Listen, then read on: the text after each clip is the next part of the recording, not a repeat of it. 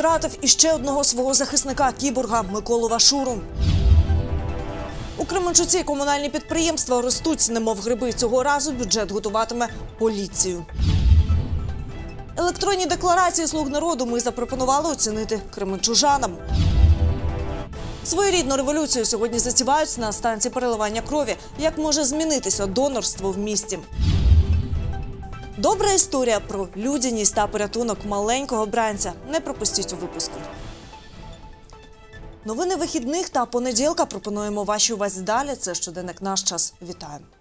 На жаль, але сьогодні змушені розпочати наш випуск сумним повідомленням. Кременчук втратив іще одного свого захисника. У ніч з 30 на 31 жовтня припинило битись серце Миколи Вашури, кіборга з позивним Мент. Сталася трагедія на Донеччині, де старший сержант Микола Вашура проходив військову службу у складі частини 2830. Доброволець він одним із перших пішов захищати східні рубежі України 2014 року. Воїн з пораненнями та все ж вистояв при обороні Донецького аеропорту. По тому усміхнене обличчя Миколи у компанії з іншими кіборгами кременчужани мали можливість щодня по місту спостерігати з білбордів. 2 лютого цього року відважного кіборга вшанували на сесії міської ради. Тоді Миколу Вашуру було нагороджено нагрудним знаком за вірність народу України першого ступеню. Що ж стало причиною смерті відважного воїна? Наразі встановлюють медики. За попередніми даними повідомляють волонтери, у Миколи не витримало серце. І за гіркою іронією долі воїн помер у день свого народження. Було Кременчуцькому кіборгу всього 39 років. Відомо, що у нього залишився 10-річний син. Про точну дату зустрічі та прощання з героєм поки що достеменно невідомо. Орієнтовно до Кременчука тіло воїна привезуть завтра. Слідкуйте за інформацією у соцмережах та інтернет-виданнях. Давайте гідно проведемо в останню путь свого героя-земляка. Герої не вмирають. Найщиріші співчуття рідним та близьким Миколи Вашури висловлює наш колектив.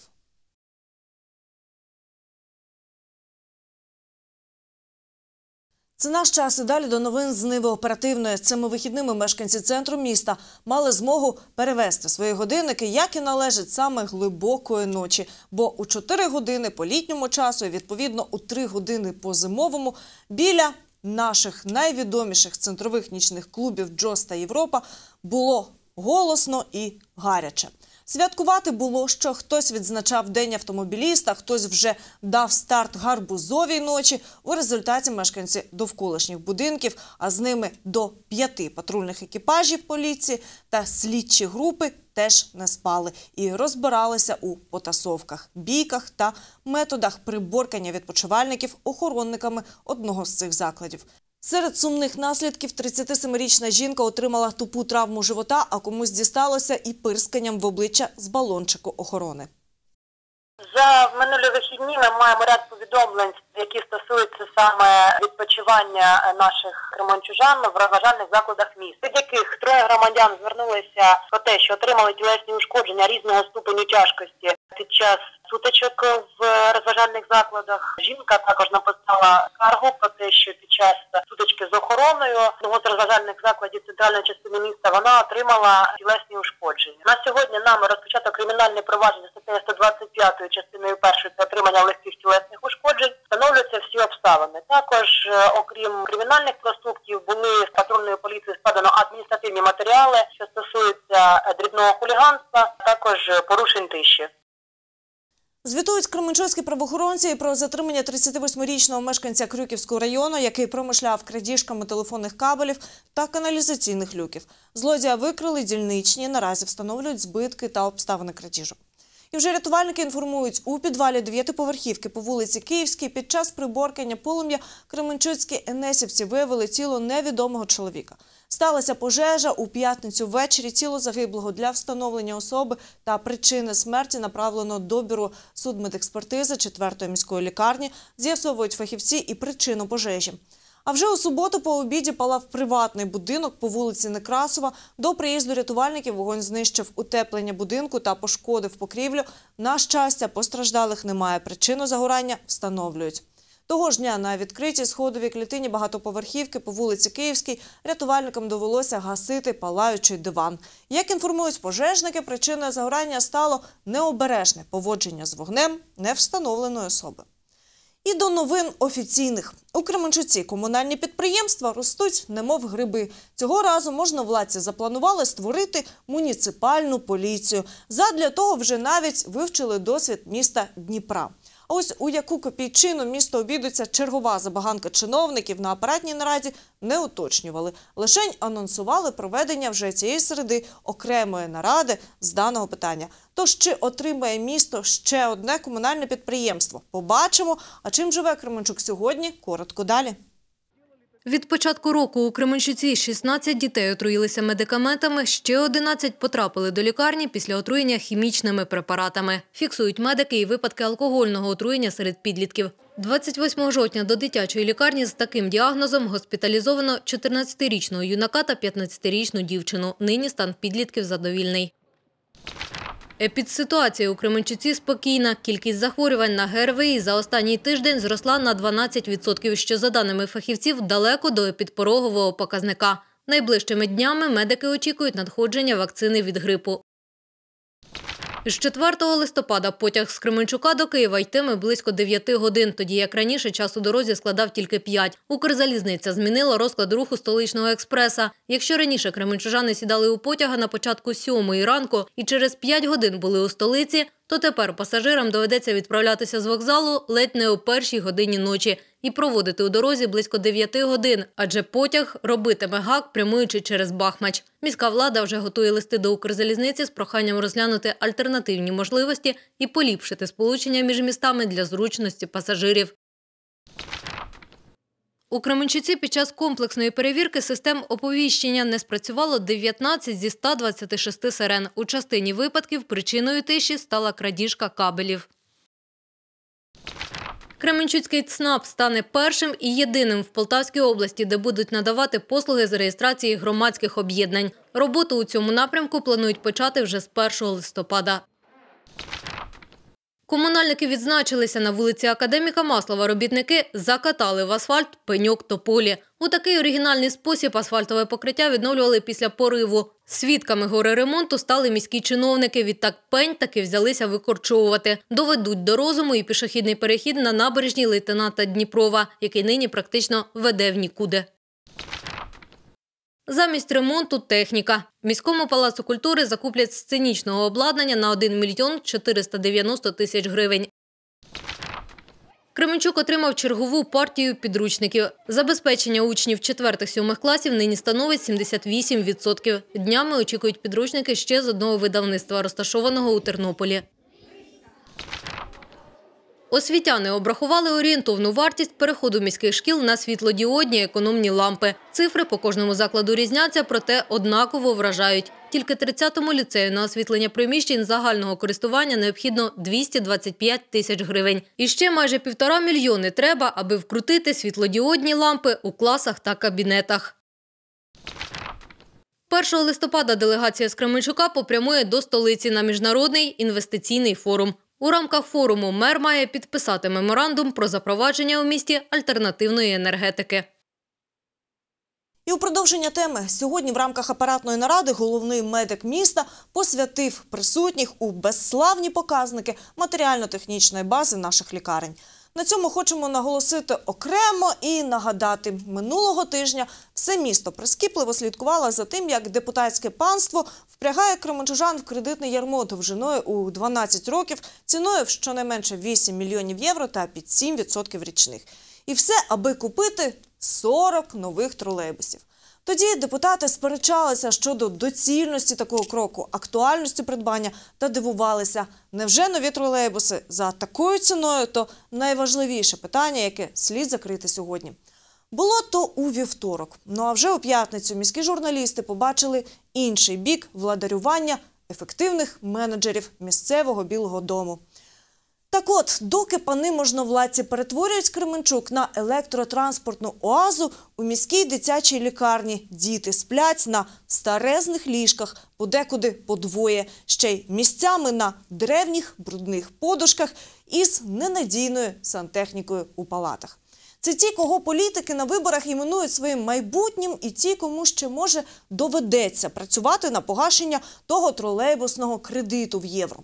Так от, після того, як журналісти з подивом дивилися на такий стан справ і обурювалися, сьогодні головний медик міста повідомив, нормальних ліжок у лікарнях побільшає завдяки гуманітарці. В цьому році ми очікуємо 150 ліжок на всі лікарні, в тому числі і на дитячу лікарню, гуманітарну допомогу з Німеччини. Очікуємо гуманітарну допомогу з Польщі. Тобто я вважаю, що головні лікарі роблять все можливе, що можна в таких умовах. Та не гуманітарною допомогою єдиною будемо наших дітей та інших хворих перекладати на нормальні ліжка. Допоможе в тому і міський бюджет, який у благу справу створення нормальних умов для маленьких і великих пацієнтів буде вкладатися поступово. 800 ліжок за 4 роки замінити за рахунок бюджету це абсолютно підйомно. Щоб по 200 ліжок ми щороку міняли. І дійсно, куди ж тут поспішати? Мова ж не про тролейбуси, а проте ситуація у лікарнях значно гірша, ніж з електротранспортом. Ліжкам та усілякому устаткуванню тут по 37-50 років. Відтак і відсоток зношеності вражає. Після цих цифр додати в історію про реальні та надумані потреби і дивні владні пріоритети буквально нічого. Звичайно, воно зношено, ніхто з цього не робив якихось секретів. Це звичайна проблема всіх кременчужан і всієї держави, тому що фонд зношений на 90%. Ну а доки народ зубожіє, наші пани високопосадовці невпинно збагачуються. Такого висновку можна дійти після перегляду оприлюднених електронних декларацій високопосадовців, термін подачі яких сплив 30 жовтня. Зараз це без заперечень тема номер один. Громадськість уважно вивчає ці декларації, які вже є у системі. Та вже за попередніми підрахунками усі разом депутати та посадовці задекларували майже 10 мільярдів гривень і 70% цієї суми готівка. Народні обранці, певне, воліють стримати сотні мільйонів під своїми матрасами, хоча це як мінімум незручно, але, мабуть, надійніше, якщо банківській системі вони не надто довіряють. А що ж думають та які враження від оприлюднених захмарних статків у пересічних кримчужан? Далі прямою мовою.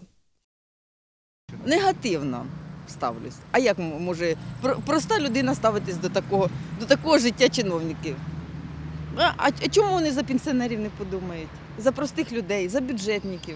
как бы ничего не меняется, и депутаты на самом деле ну, не предоставляют в полном объеме ту информацию, ну, которая есть на самом деле. Многое, ну, многое скрыто. Я хочу, чтобы они поделились с народом. Молодежь не може квартири купити собі. Да, молодежь у нас Не несчастная. построїться, не квартири А за купить. пенсионеров даже нечего разговаривать. Мы бедные, нищие. Як оце таке слухати, що з пенсіонерів забирають, нема грошей ні на що. А в їх є. Де воно взялося, ніхто не знає. То лучше б чого було мені не чути і не доживати до цього. Оце так я вам скажу з цими деклараціями. Хай їм Бог суддя. Чтобы не ругаться матом, да, я могу сказать, что это просто ужас. Народ в бедности в такой живет. Ну, люди же сами и выбирали, положим, этих людей. Ну, глаза же где-то были, а теперь возмущаются. Из года в год одних и тех самых выбирает, а потом возмущается погана влада. Чего же возмущаться-то? Ну, мое мнение то, что у них э, есть миллионные остатки, но они и о половине этого не говорят. Как бы, ну, конечно, это плохо. Ничего хорошего в этом нет. Но мы же выбираем таких. Ну, я думаю, знаете, как, я думаю, по-христиански это очень, не- очень нехорошо, это очень грешно. Да, и кончится это, в общем-то, для них, наверное, очень плохо. Но они об этом не думают. Пускай бы они за народ думали немножко. Ну, чуть-чуть я имею в виду, чтобы экономика поднималась, чтобы еще чего-то. Пускай у них будут миллионы, так чтобы у людей был доход. Жадность человеческая. Мы же сами их выбираем. Який народ, такі і бояри. Ми ж самі так хочемо, як вибрали, так і ми. Можна було не брати і кредитів. А можна було трішечки, якщо правда ці люди прийшли для того, щоб щось змінювати на краще, то в них є дуже нагода зараз прокоменти... да, це показати на власному прикладі і поділитися зі своєю країною. Средняя заработная плата гораздо ниже, и они реально никак не могут подтвердить свои доходы, как, за счет чего они такие статки имеют. Поэтому ну, я категорически вот э, отрицательно к этому всему отношусь. То, что они декларируют свои доходы, это хорошо, но пусть еще подтверждают, как они их заработали и с помощью чего. То есть те, которые реально работали и реально заработали, реально накопили деньги, это к ним одно отношение. А те, которые с помощью коррупции, с помощью таких вот бедных граждан наживались, как многие, как нищие, вот у нас остались благодаря им, тех надо, конечно, как-то принимать меры и раскулачивать.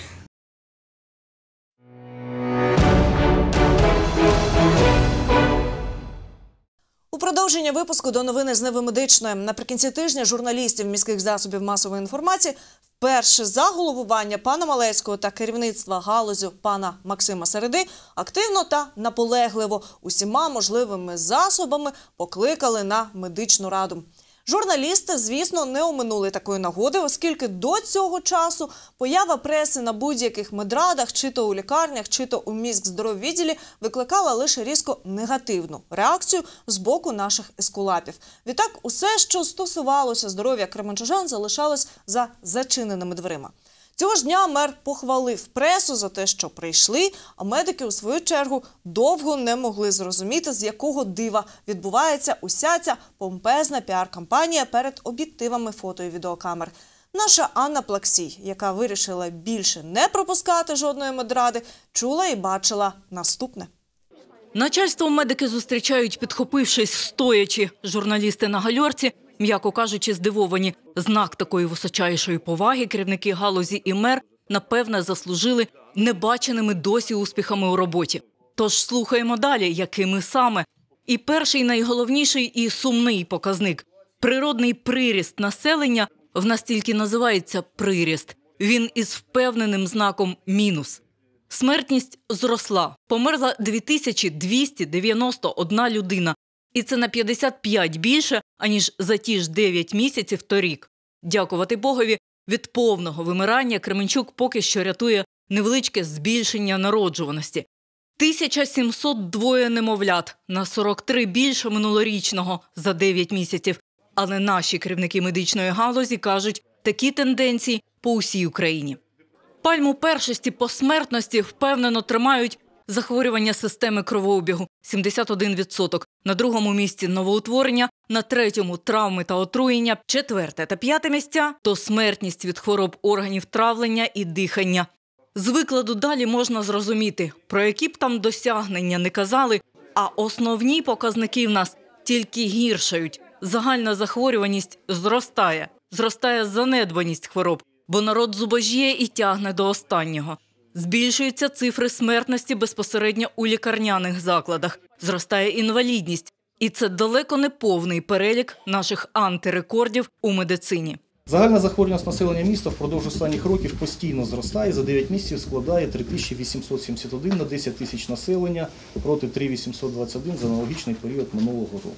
Відсоток занедбаності дещо збільшився, склав 18,6 проти 16,7 за аналогічний період минулого року. З негативних факторів збільшився первинний вихід на інвалідність осіб працездатного віку з 22,6 до 24,6, а також дітей з 13,2 до 13,7. Е, Загальна інфекційна захворюваність разом з грипом і гострими респіраторними склала 30 тисяч випадків і дещо більше, ніж е, на 6 тисяч, не дещо, а на 6 тисяч більше. Це 20% ніж в минулому році. Лікарняна летальність це 470 хворих проти 445. Чи порадує вас на цьому тлі той факт, що Кременчук тепер має класні флюорографи і є нова відносно дешева лабораторія при міському пологовому будинку? Як досягнення Максим Середа називає зменшення в чотири рази кількості виїздів швидкої до хронічно хворих. А може саме звідси і та сама занедбаність хвороб, що потім призводить до збільшення летальності, і зниження планових хірургічних операцій, і зниження виконання плану ліжкоднів, то антирекорди із тої ж опери. людям просто немає за що і оперуватись, і на тих ліжках лікуватись. Втім, Максим Середа, схоже, і сам це розуміє. Лікуватися стаціонарно дійсно не по кишені е, деяким кременчужанам. Я маю на увазі лікуватись планово. Непроведене планове лікування рано чи пізно приведе в ургентну госпіталізацію, яка обходиться набагато дорожче. На жаль, і набагато менший е, прогноз по видужанню. А от що зрозуміти важко, а ще важче не вірити при цьому у репресії, так то бідкання керівництва на нестачу кадрів. Не вдається також впродовж кількох років вирішити питання комплектування медичними кадрами. І це при тому, що на фоні підвищення цифр виявлення серцево-судинних хвороб з посади головного кардіолога міста звільняють 43-річного Сергія Ярошенка і призначають замість нього 66-річного Олега Ходька. Це останні відомості з третьої міської лікарні, де місяць тому звільнили прогресивного головного лікаря. Але ж далі про проблеми медичної галузі ще. Знизилась кількість планових хірургічних операцій з 1591 до 1374 за нинішній звітній період. Ускладних післяоперативних втручань стало дещо більше 14 проти 12 за аналогічний період минулого року. Одна із проблем, яка існує протягом останніх декількох років, це недостатнє забезпечення медичними імунобіологічними препаратами для щеплень, вакцинами. Ну а далі зайшло про фінанси, точніше про те, що їх, як завжди, не вистачає і нема чого апелювати до тої давно застарілої конституційної норми. Ми ще не вийшли з Конституції е, 96-го року, 49 стаття, яка нас зобов'язує надавати медичну допомогу безоплатно. При цьому держава на ці зобов'язання дає, як я вже казав, 30%. І тут, певне, вперше на офіційному рівні сам мер схвалив і добровільно примусові внески у лікарнях, і більше того, ту саму віддяку лікареві. Добровільні медичні внески відмовитись від них зараз наразі неможливо. Це розуміють усі. Це треба, треба собі віддати, ну скажімо, чітку відповідь, що ми від цього не відійдемо. Тому що якщо ми заборонимо, то все одно воно буде продовжувати. Ми не проти того, щоб людина віддячила лікарю. Абсолютно, це нормально. Звісно, мер ані словом не обмовився про ту саму корупцію у таких випадках. Тож, коли будете давати подяку лікареві, майте на увазі, ви теж маєте підпасти під статтю. І те, що вам дав на це благословення сам ваш мер, навряд чи вам допоможе. На цьому ми не ставимо крапку у темі медичній нашого міста. Далі буде. А ви ходіть здорові і не поповнюйте сумної статистики нашої Кременчуцької медслужби. Ну а далі мова піде про більш приємне у медичній галузі. Своєрідну революцію сьогодні затівають на станції переливання крові.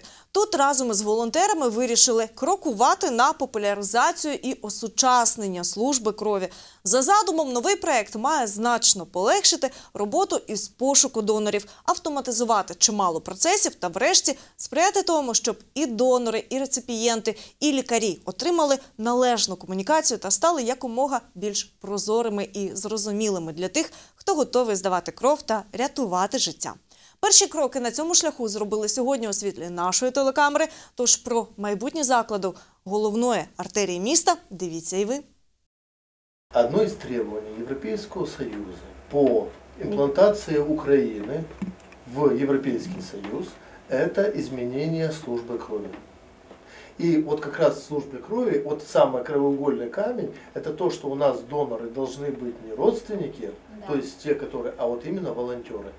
Перетворювати сучасну систему забору крові на європейську вирішили сьогодні із Кременчука, як з міста прогресивного. З тою метою до СПК і завітала волонтер Ірина Славінська. Дівчина твердить, вже не один рік за допомогою сайту Donor.ua працюють над тим, аби ті, хто потребують крові, і ті, хто готові такою поділитися, якомога швидше знаходили один одного. У нас есть горячая линия. Раньше мы закрывали одного реципиента, то есть находили определенное нужное количество доноров для него за около 5 дней, 2-3 до 5 дней. Сейчас это занимает 20 минут. 20 минут при помощи трех кнопочек Впровадити сучасні технології на нашій станції переливання крові та загалом по Полтавщині це нове завдання максимум, схвалене Міністерством охорони здоров'я. получено официальное разрешение на пилотный проект в Полтавской области. Но, учитывая того, что Кременчук более прогрессивный в плане трансфузиологии, не, ну, то это действительно так, вот, то мы решили, что мы начинаем с Кременчуга. После того, как мы показали область, мы это будем представлять всем областям. Все области будут приезжать сюда, учиться у нас. И в итоге это будет схема сначала э, во всей Украине, потом, когда освободим Донецк, Луганск, переносим туда, освобождаем Крым, переносим Крым, Тож за задумом реєстр донорів станції переливання крові має стати електронним. Запрошення прийти здати кров автоматизованими, а потреба у тих чи інших компонентах крові, хоч і не повністю, але відкритою. Чимало уваги в рамках проекту планують приділити і технічному оснащенню установи, і пошуку нових донорів, яким за задумом буде займатися спеціальна програма. получая сначала информацию от станции, что нужно станции, да, мы идем в бой, грубо говоря, в сетевой бой, в социальные сети и начинаем искать там людей. То есть э, это в мире такого нет аналога. То мы задействовали ботов, прописаны под них алгоритмы, которые при помощи социальных сетей э, ищут и рекрутируют, вот находят людей, которые потенциально готовы сдавать кровь. Серед іншого, система винагород для донорів через співробітництво з соціально свідомим бізнесом та прозорість для самих підприємств. Крім того, впровадження такої системи взаємодії між донорами, пацієнтами, станцією переливання крові та лікарнями дасть змогу планувати забір крові наперед. Головний лікар установи зізнається, ідея гарна, заклад готовий до такої співпраці, та й сама станція переливання крові до цього часу не пасла задніх. Это и э, даже те же накладные, как вы говорите, при передаче с отдела заготовки уже в отдел карантинизации. Это и отчеты месячные, это и подготовка списков на сверку в центры борьбы со СПИДом, это в кожные диспансеры. То есть, конечно же, без э, каких ну, т- таких программ м, это очень тяжело сделать. Это все надо делать в ручном режиме, а это нужно делать. Поэтому, конечно же, и мы готовы сотрудничать, работать. Крім того, зі слів Світлани Каплати, цьогоріч станція переливання крові дещо покращила матеріально-технічну базу, було придбано нове обладнання. Ну а наступного року тут чекають і на ремонтні роботи.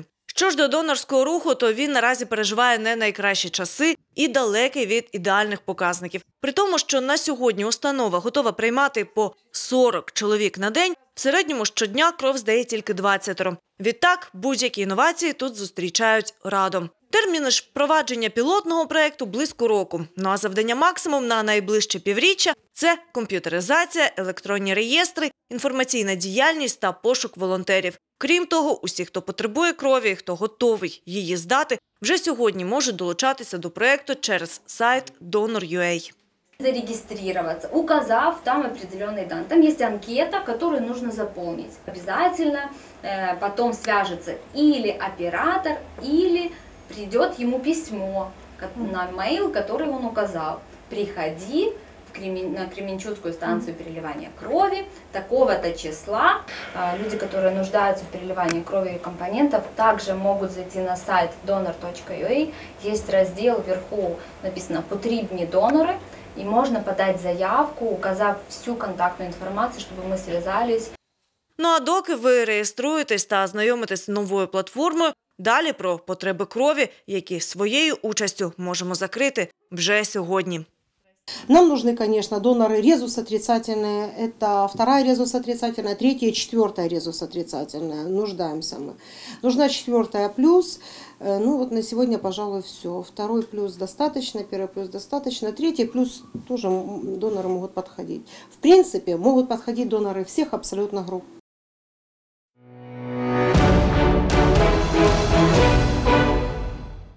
Ну а далі вашій увазі добра історія порятунку. Цього разу мова про маленьке кошеня, яке цілих чотири дні чекало на визволення. Пасткою для маляти стала труба на Крюківському мостовому переході. Визволяти малечу зібралась ціла когорта добродів, серед яких і наша небайдужа Вікторія Загорулько. Ця історія незвичної операції порятунку розпочалася з людської небайдужості. Йдучи увечері додому Крюківським мостом, цей чоловік почув нявкіт. Виявилось, що кошаче прохання про допомогу лунало з глибокої труби. Это было 4 дня назад. Я думал, если он ночь переживет, я с утра начну действовать, то есть звонить там э, в МЧС, э, но утром он не отозвался. И я думал, что он там пропал. Но пройдя три дня, вчера вечером я иду, и он опять начинает кричать. И я понял, что он еще живой, и начал звонить везде, куда только можно. Э, В МЧС позвонил, сразу не отреагировали. Через соцмережі, каже Віталій, вийшов на місцевих захисників тварин. Тож далі вже разом шукали шляхи порятунку чотирилапого. На ранок п'ятниці біля труби з пухнастим бранцем було доволі людно. Першими на порятунок кицьки стали представники спецсервісу разом із небайдужим паном Віталієм та атовцями, які охороняють міст.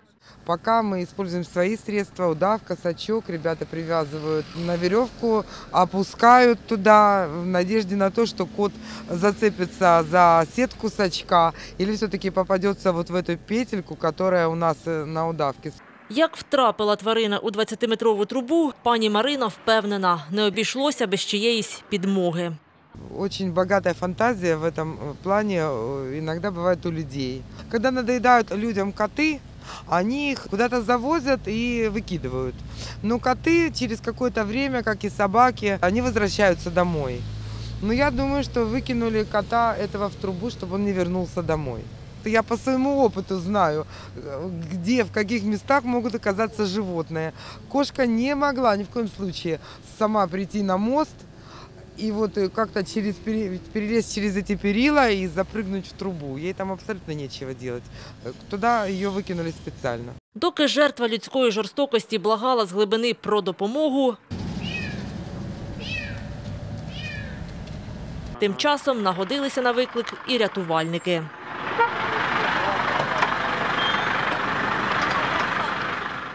Доки міскували, як діставати кицьку, хутко зреагувала й поліція. Взявшись регулювати рух на мості, хоча зізнаємося, невеликого затору таки уникнути того ранку не вдалося. Операція з порятунку кицьки тривала майже годину. Труднощі були в тому, що міст обслуговує південна залізниця, і без її дозволу до труби не підступишся. Вот мы сейчас будем резать. Мне надо разрешение на Сейчас, эту сейчас трубу. директор позвонит в горисполком. То есть мне надо разрешение, чтобы я приступил к работе. Благо, нічого різати таки не довелося. У чоловіків, які від самого початку, не покладаючи надію, раз за разом намагались дістати тварину, врешті енна спроба увінчалась успіхом. Чотириденні страждання пухнастого бранця скінчились. Осторожно, осторожно. Боже мой.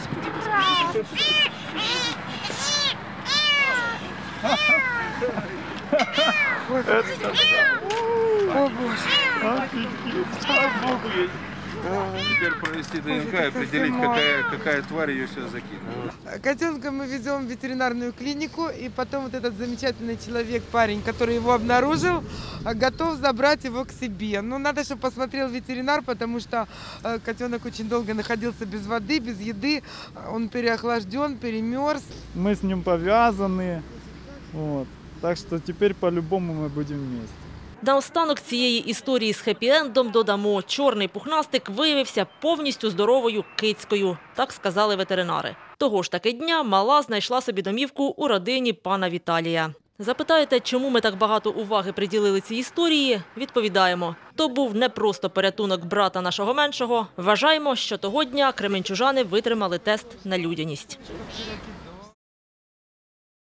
Вчора у міському саду розгулювала нечисть. До Дня всіх святих, або ж як ще називається свято Хеллоуін, у Кременчуці відбувся перший костюмований забіг. Проте ті, хто не встиг роздобути собі костюми нечисті або нанести відповідний грим, теж мали змогу долучитися до пробігу у 5 кілометрів від міського саду до скверу імені Олега Бабаєва. Та певне, зважаючи на прохолодну погоду, пробігтися у костюмах нечисті виявило бажання не надто багато людей. Ті ж, хто прийшов, зізнаються, таким незвичним святкуванням Хеллоуіна вирішили поєднати приємне із корисним.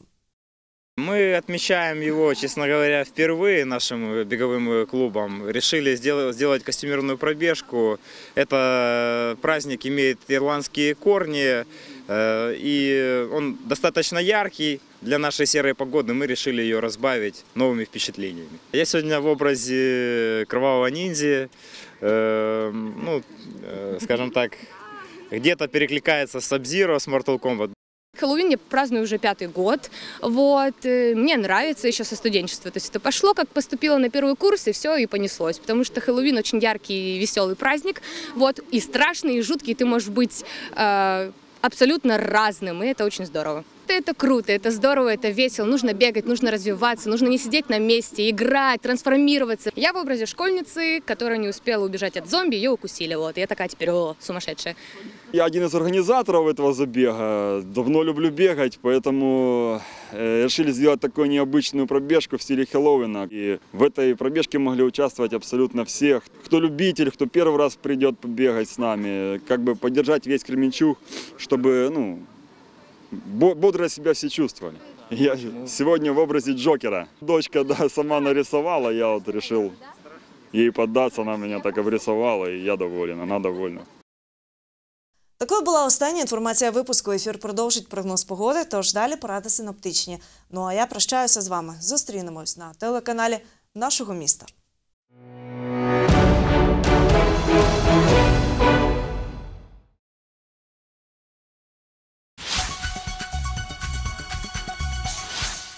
Вітаю! Розпочинається новий робочий тиждень. Кажуть, коли двері щастя закриваються, відкриваються інші, але ми часто не помічаємо їх. Ось так і листопад з радістю відкриває нам свої двері. Тож радійте кожному новому дню. А погода обіцяє бути наступною. Розпочнемо, як завжди, з заходу країни. Зранку до самого вечора небо в Івано-Франківську буде приховано за хмарами. Вночі можливий сильний дощ, який до ранку повинен закінчитися. День пройде без опадів. Максимальні позначки за добу становитимуть плюс 3 та плюс 6. Хмари затягнуть небо із самого ранку і в Чернігові. Триматимуться до пізнього вечора, але опади не залишать. Тут від двох морозу до нуля в день. У столиці сонце рідко проявлятиметься скрізь хмари, які щільно затягнуть небо. Дощ чи сніг не обіцяють. Температурні позначки становитимуть мінус 2 вночі та плюс 2 в день. Зараз важлива інформація: обирайте ефективний спосіб очищення води, адже вода повинна бути корисною.